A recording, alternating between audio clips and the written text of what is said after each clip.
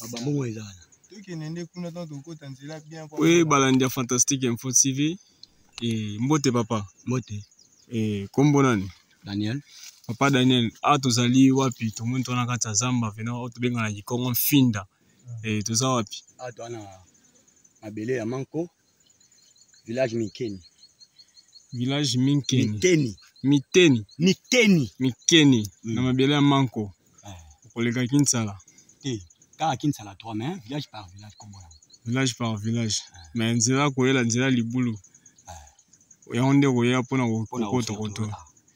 mena tomoni zamba monene boye elingi koloba nini deja banda basu banda ebotama banda nzambe akela nanu batusha yango te obie deja bakatakata deja bakata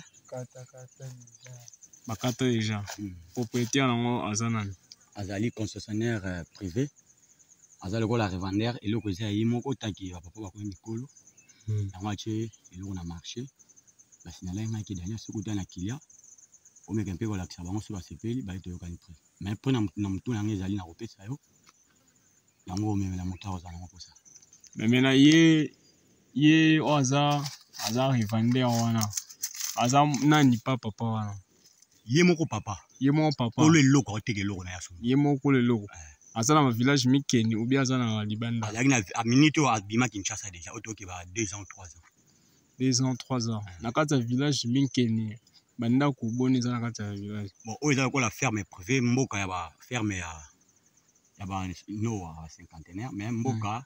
village alaka libulu monene nde ya libulu na likolo mm. à part 100 personnes ya somba yango esali déjà mikolo bane depuis 1992 oyo ya somba ah.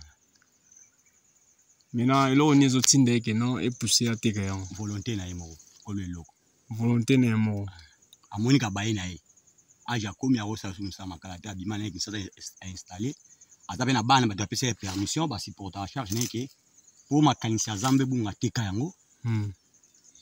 osala babeja na yo mais maintenant d'après yo en tant que conseiller na ye e, e, apesaki yo ndenge oyebeli zamba yango ekozala pape combien d'hectare na esobe na zamba 35 na esobe na zamba 35 zamba esobe ezali ya popo awa tozomona kaka esobe na esobe oyo zamba esobe soki osilisi zamba hmm. obino esobe ebimi jusqu'à seke na nzela ya camion na nzela ya motuka ah. c'est-à-dire ke koya mpe kote oyo nzela motuka ekopermettre facile très bien na nzela nini wana kaka na nzela moni kote towuteli kotala nani kote wuti epai ya paya paya nani blaise pa blaise nzela mm. camion yango na likolo oyo mpe na ngomba oyo mm. ya nzela camion mine ebimi ti na mboka monene place wana mboka monene kuna mboka nini libulu nzela motuka wana eketi libulu ah. mm. mais maintenant ce qui concerne côté ya namoni ba, ba arbre fruitier namoni avocat eh, safu e nayebi te so banzete mosusu nini okoki eza na basafu ebele eza na bavoka ebele bapoile ebele tomata kuna likolo tomata likolo oyo bandeko fantastique fo ntina ngambo oyo mpe tozomona kote oyo oyo eza ngambo na bango mandelo eza mai mai eza mai eza moi mai oyo tokati bokati kuna okati de mai hmm. yango oyo koto oyo nde source na yango obandeli koto aza na mikanda yango oyo asomba oh, asomba oh, esika document complet eza kutu ni microbe mpo bapapa baza bancien hmm. bancien concessionnaire basombi basafu eza ebele otomona safu kuna olobi à peu près combien d'hectares 35 hectares waya bandeko ya fantastique info tv e, bisika e, yango tozomona eza ya motu yo moko okoki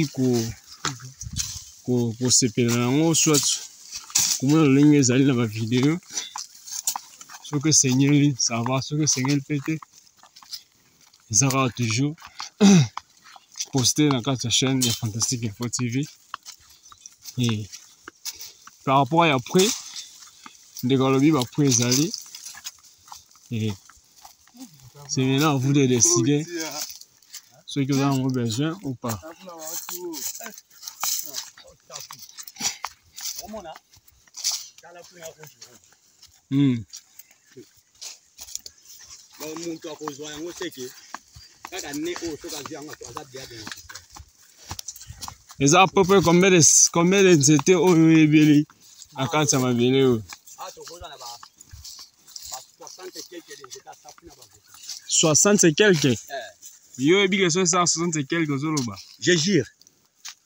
soki nabandi tobandi kokende ntama lotanga hmm. ondima oyo naoloba epuis par rapport ya oyo eza première fois te nalingi naloba ya kobimisa bambuma na kati ya mabele oyo ya koteka hmm. banda lo na yango banzete bande bandi kobima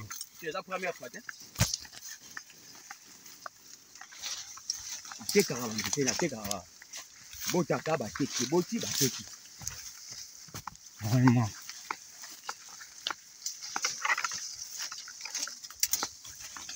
eh, tozo kontinue kaka kokende kaka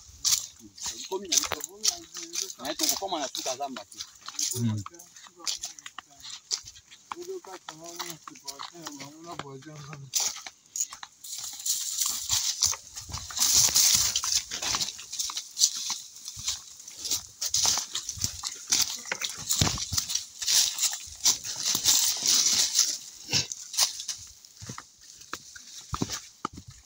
moni oyo eza mai ya bato na libulu Mm.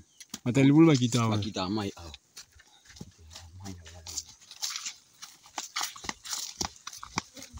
Oui, c'est tout. Mm. Préparation. Bango na voisin yango. Mm. Mai. Elle oyo toza. Mm. Eza ya moto mosusu. Elle wana yande ya bango. Sikoyo Zambe kibo. Mm. Donc sese oyo nyonso eza na banzete ya safu, nzete ya safu na bapoali mm. na mwa likolo kuna. ti na suka namoni deja nzete moko liboso na ngai susu ya safu e namoni nsu mosusu yango etemi liboso na ngai safu namoni so trois nzete sur place a ah, safu e, vike nani eteli te na seti ya décembre bokolia yango janvier hmm. kilia oyo aza bénéficiaire vraiment bandeko fantastique info tv kaka nde toyesaka bino tele ezali radio te e na magazine kiabeto tomoni lolenge kani ba safu tolongi kani ba banzete eza mwa ebele awa vike tozwi makasi ya kokatisa lisusu na ngambo te e nayebi te na ngambo eza bouche papa eza bouche mpe bon comme bato balekaka su te c'est possible afo eza mwa bouche soki esengi mpe tokata toko traverse bon sango wana mokolo mosusu ah. epuis motuna na ngai ya suka apropos ya, ya, ya prix wana olingi koloba nini apropos ya prix wana ezalaka eloko ya, ya télévision te azala eloko ya koyokana entre ngai na yo napesi yo prix hmm. après yo nde oyebi ndenge okobalanse nayebi te so ezala bongo te mais mpo na betan mpe kosimba mai yango eza ya moke awa ezalaka lizipati oyo eza mai ya moke donc eh, ewuti liko, mwa likolo kuna mm. afongoli mwa moke awa yango ayo tokokatisa kuna kuna ekoma monene ayo ezaka mm. kaka mai yango mosusu te papa bongo yo dapo oyo zamba omoni yango ndenge nini ozalaka awa banda kala zamba oyebi elango ndenge nini hmm, zamba eza yango malamu bakoli eloko nde basali basali bakoli na zamba oyo hmm. eh, esengi balimbi na bango misala zamba awa baza mposa bateka eloko na bango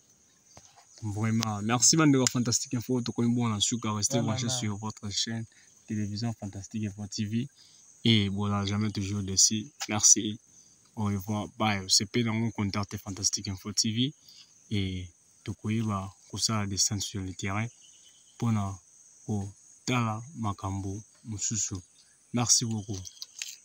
Avocat, Tafu, Wali, eza na kati.